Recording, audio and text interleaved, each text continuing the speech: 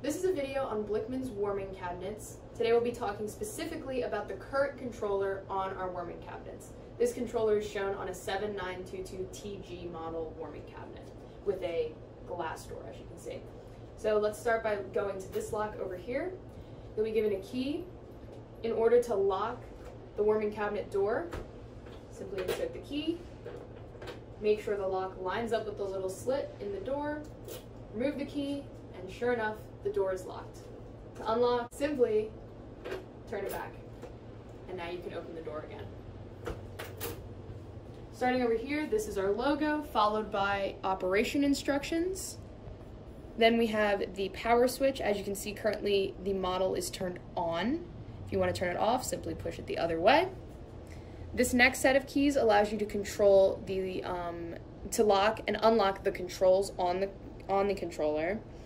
Um, so this is great for your OR manager or whoever will be managing the settings on the warming cabinet.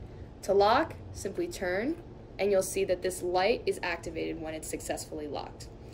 To add even more security, you can add a passcode so that you have to enter in the passcode as well to change any settings.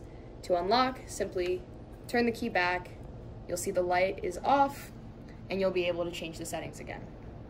This keypad here allows you to navigate the screen with these directional arrows, as well as input any numbers you could need. You can also change the settings to show Fahrenheit or Celsius.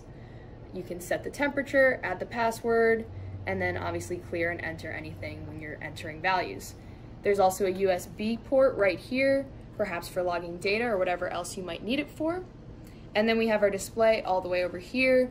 As you can see, we have the actual temperature inside the warming cabinet and then what it was set to, the set point at the bottom.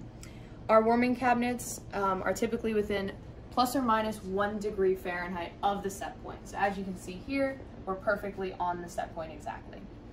Additionally, you can add an alarm and that will light up when you when you activate the alarm to show people that there is an alarm in fact in effect visually and then also if the warming cabinet's tampered with, there will be an audible alarm.